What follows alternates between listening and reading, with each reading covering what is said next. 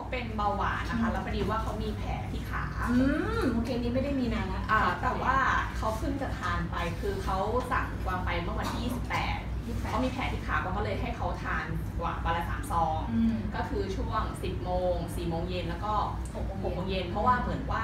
ไตเขาเหมือนจะไม่ค่อยดีด้วยเพราะว่าเขาฉีดออกมาเป็นฟองค่ะอะ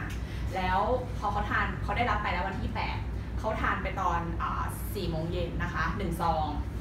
แล้วคือเขามีที่ที่ตรวจน้ำตาลของเขาอยู่แล้วนะคะ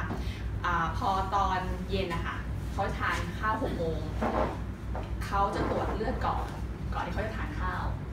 จากวันที่ 27อะค่ะเขาตรวจไปน้ำตาลเขาก่อนที่เขาจะทานอาหารนะคะน้ำตาลเขาอยู่ที่ 297 แต่เขาทานของเราไปตอนช่วง4โมงเย็นหนึ่งซองน้ำตาลเขาลงมาที่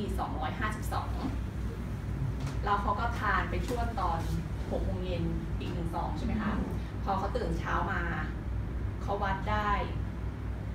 225ค่ะมันลงมันลงมาเรื่อยๆค่ะแล้วอัเขานก็นี้คือเคสหนึ่งวันใช่มัค่ะเป็นแค่หนึ่งวันอันนี้คือน้ำตาล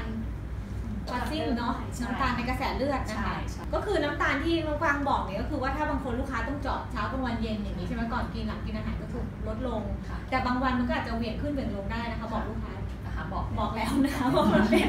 ว่ามันเป็นน้ำตาลในกระแสเลือดเนาะเออเขาบอกว่าคือแบบเหมือนว่าเขามาอามอามความว่า